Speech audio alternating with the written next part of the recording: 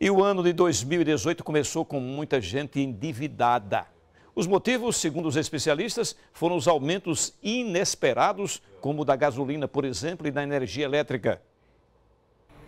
Pesquisa feita pelo Serviço de Proteção ao Crédito SPC e pela Confederação Nacional de Dirigentes Logistas aponta que 4 em cada 10 consumidores afirmaram estar no vermelho ao final de 2017 ou seja, sem conseguir pagar todas as contas. 45% disseram estar no limite do orçamento e apenas 13% responderam que estão com sobra de recursos, o que mostra uma imensa maioria ainda em situação de aperto.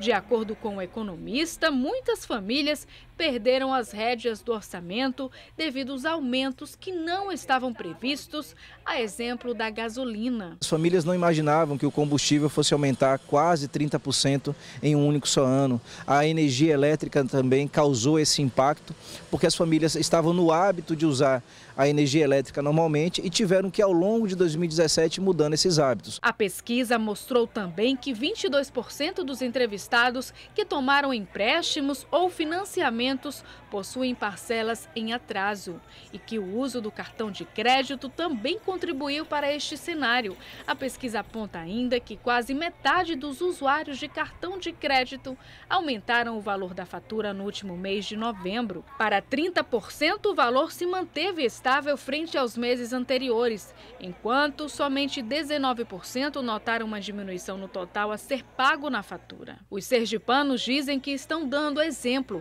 principalmente na hora de comprar com o cartão de crédito. Quando eu saio de casa, eu já saio determinado o que eu posso gastar, o que eu quero comprar, que é tudo limitado, né? Não posso passar do limite. Poxa, a gente tem que comprar sabendo que pode pagar, porque senão depois o negócio complica.